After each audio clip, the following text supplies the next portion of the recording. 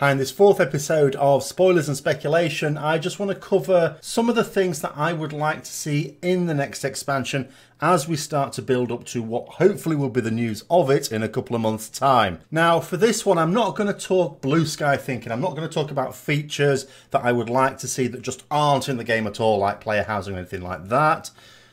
I'm not going to talk about specific class changes that I would like to see either. This is an overall tweaks to current content, is how I would put it. And I've picked on five things. There were a few more, but I've picked on five things that I would like to see of current content just tweaked, not massively redesigned, not adding something that isn't there, not taking anything out, even because there's a few things that we might like to see taken out, but I'm not going to be silly. This is just stuff that might be feasible with my reasoning why. So, in fifth place on this one, I would like to see faster catch up. Now, what do I mean by that? It means at certain points during an expansion, someone may join the game late. Maybe they used to play a few years ago, want to come back, or maybe they have never played before.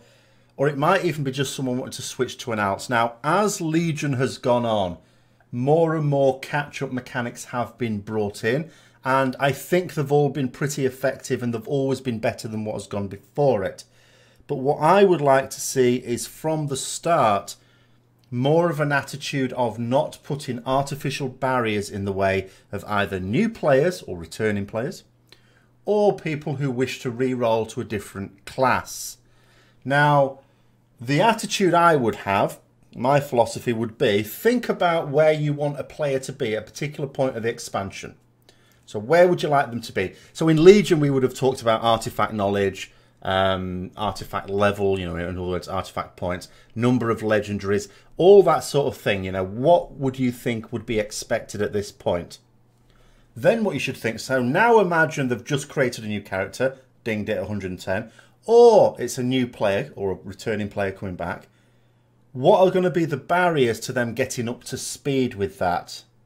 And think to yourself, so how can we ease that up? That's the attitude I would take into this. Because things like the length of time it takes you to gather legendaries, for example, or the length of time it takes to gather artifact power, or even gear, because that's always existed in expansions, that sort of exists to give playability into the game. It's to allow you to feel that you haven't completed the game. There's always more to do, so it stops you thinking that the game is finished in a couple of weeks. But when you think about the player as they should be at this point in time, or at any point in time in an expansion, why are you giving people who've only just come into it all those same things when they're so far behind anyway? Get them right up to speed, and then they can go onto the treadmill along with everyone else. So in fourth place for me, it's adoption of artifact special abilities. Now, I am hoping this should be a given anyway. The reason I think it's important that the special abilities we get with our artifacts, not all of them are active abilities, but the vast majority seem to be, is because to not do that would require a significant change in gameplay for each class and spec. And quite frankly, I want the class designers to be focusing on improving the classes rather than wasting a lot of their time on having to redesign. I'm always against redesigns en masse of classes and specs in an expansion. You usually don't get anything major, by the way. Legion was one of, you know, a handful of expansions where they've had a major redesign, but even that, I always think, if you're going to do it for all classes and specs, it's almost like you're not doing it because that class or spec needed it. You're doing it because a command came from on high saying, let's just shake it up for the hell of it whether it needed it or not. And I think in an expansion, the class designers, as I say, need to be thinking, right, so what do we need to do to improve the flow of this spec or to make it more suitable for this content where it's been left out in the cold a little bit, that's expansion. Focus on those things. Don't think to themselves, oh, we had a working spec here and now actually we've got to work around the removal of this ability, what we're going to do. So as I say, that one I hope is a given but it's nonetheless on my wish list because until it's said it's a given, it isn't.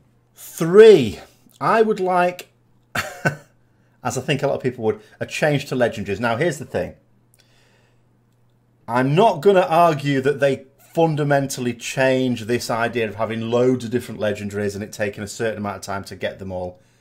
Even though I don't like that system, I know that that's not going to change. So I'm not going to howl at the moon here.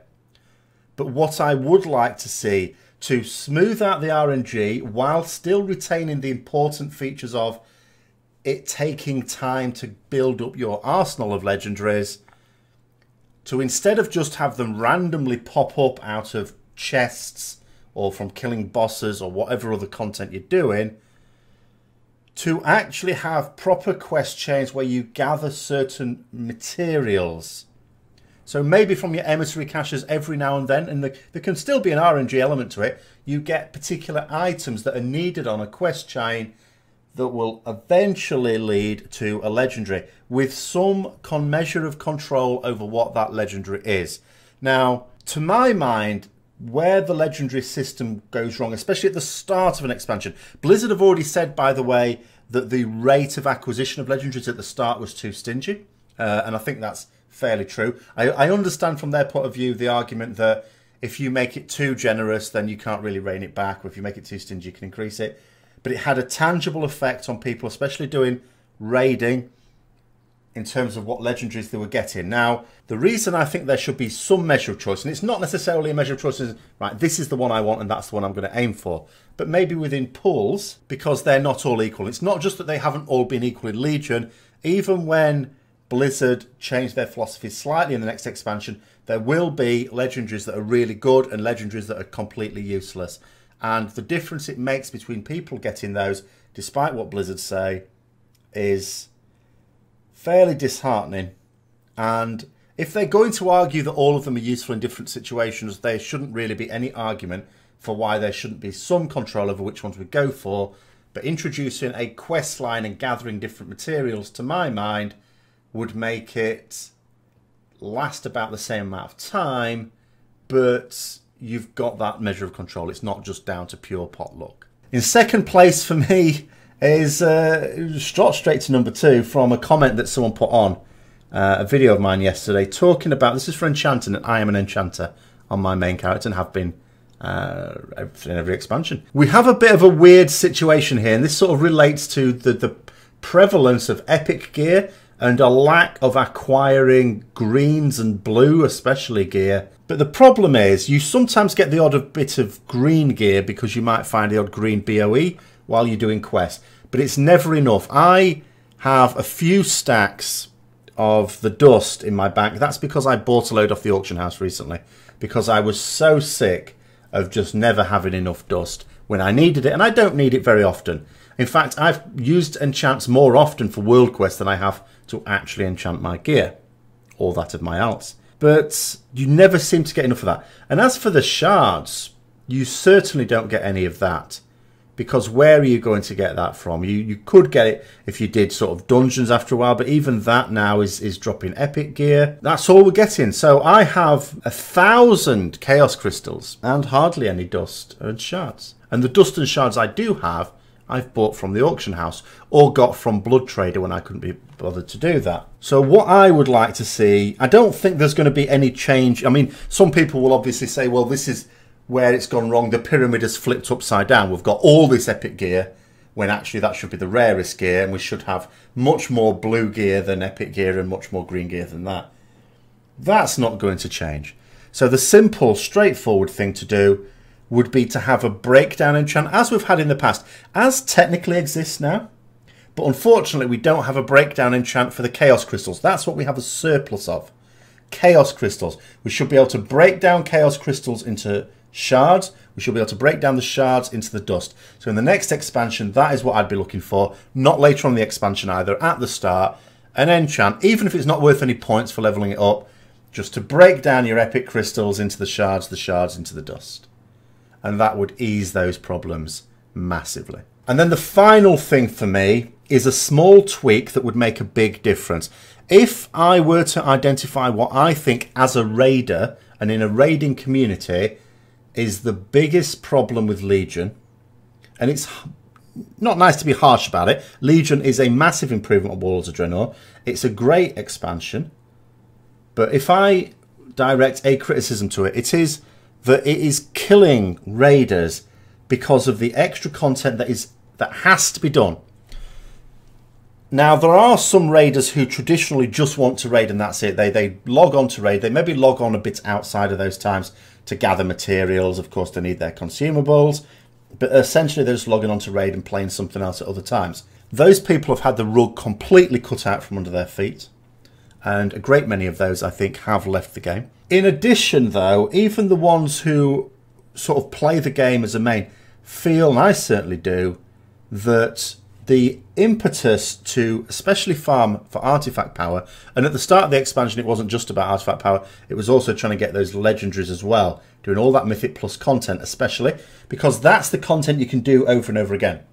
Like raids, okay, you can only do so many raids a week, although as the expansion goes on, you could increase massively the amount of time you can spend in raiding. Your daily dungeon, you're not going to run heroic dungeons all the time, but an emissary cache is like one a day. Save them up for a few days, but it's still an average of one a day. But the Mythic Plus dungeons, you can keep doing those over and over and over and over and over again. And despite artifact knowledge supposedly creating a buffer to prevent, to allow the people who put in lots of time into it to get a bit ahead, but not too far ahead, that hasn't worked out at all. There is a significant gap between the people who put in lots of time to Mythic Plus and those who just do a few a week. So that hasn't necessarily worked there. So what I would like to see is that artifact power doesn't actually drop from dungeons or raids at all. Now, hear me out. I'm not suggesting it doesn't award it. I'm just saying it doesn't drop in there. So there's two things about this. First of all, I think Mythic Plus dungeons have a big enough attraction for two things. First of all, people who want to play them competitively for pushing the high keys just for kudos, for getting themselves on the ranking table, stuff like that but also for the gear. With Titan Forging, and Titan Forging is another, is going to be a slight problem here, but I'm not going to talk about that in this one because I just accept that that's going to be a thing. You can easily, if you put in enough Mythic Plus dungeon time, get yourself some pretty good gear. The best geared people in the world are the ones who do a lot of Mythic Plus dungeons. Even though, you know, you compare someone who just does dungeons with just does raids, the raiders at a certain level will still have overall the best gear, but someone who does both is going to have the best of all. So what I would suggest is because there's a strong enough attraction to do some Mythic Plus, you don't need people doing 10 a day. So there's the motivation enough to do a bit of Mythic Plus dungeons for everyone. So why not have a similar system to what Blizzard have already introduced, but have it exclusive? So at the moment, you get artifact power in your weekly cache according to the highest level Mythic Plus dungeon you did the week before.